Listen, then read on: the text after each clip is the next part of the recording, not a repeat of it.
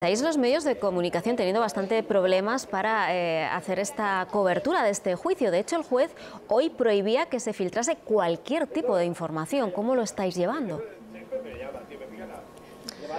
Eso es, es un juicio que se está llevando a cabo con muchas medidas de seguridad. De hecho, finalmente eh, la prensa nos hemos tenido que quedar fuera, no hemos podido entrar dentro. Sabemos, por ejemplo, que a diferencia de España, Daniel sí que ha podido hacer preguntas a los testigos, pero no ha trascendido el contenido de las mismas precisamente por eso, por orden del juez. No quiere que se filtre absolutamente nada para no contaminar el caso. Incluso ha llegado a amenazar, amenazar a los abogados y a las personas que se encontraban dentro de la sala con sanciones y penas de cárcel a quien filtrara algún tipo de contenido sobre este juicio.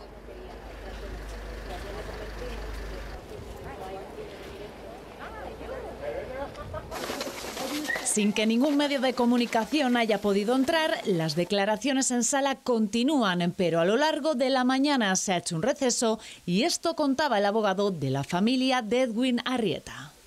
Hemos tenido la oportunidad de ver a Daniel, eh, le hemos visto eh, muy seguro de sí mismo, no ha mostrado ni hemos visto que tuviera ninguna sensación de arrepentimiento.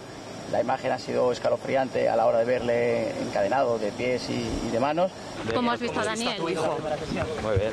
Venga, chicos, gracias. Perdón, ¿eh, Rodolfo? Daniel se ha reconocido culpable, como bien sabéis, eh, y como hizo en anterioridad, de uno de los mismos. En concreto, de la ocultación del cuerpo, uno de los delitos por los que se le juzga. En la sala está el padre de Sancho, que a su entrada no ha querido pronunciarse. ¿Cómo está Daniel? Ahí como pueden ver está entrando ya Rodolfo Sancho al interior de... Dentro sí ha intercambiado palabras, en este caso con el abogado de la defensa.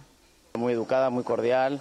También hemos mostrado pues eh, nuestro afecto más humano en estos momentos tan difíciles para todas las partes. Los de hoy son cuatro de los 28 testigos propuestos por la Fiscalía.